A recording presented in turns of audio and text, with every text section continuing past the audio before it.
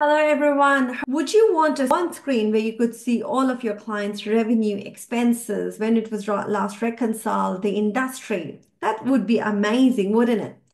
So if you use certain systems like Dext Precision or Expert that connects with Xero or other accounting softwares, but there is a place within Xero that you can see all of this information. Welcome to Future Proof Accountants, where we talk all about technology and efficiencies to manage our practices. I'm going to now share my Xero screen. Once you go to your Xero and you click on Xero HQ, and if you click on Insights, then it will show you some data right here. So I'm just going to expand this.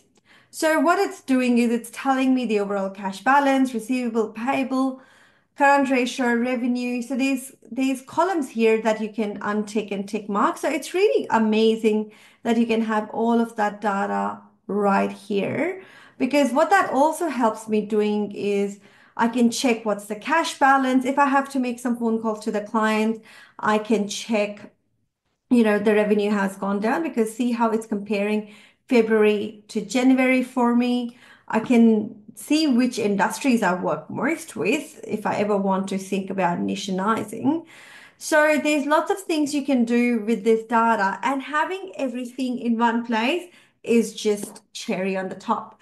All right. I hope you found this useful. I hope you were as excited as I am and will use this in your practice. And I shall see you next time. Have fun. Have a great week. Bye bye.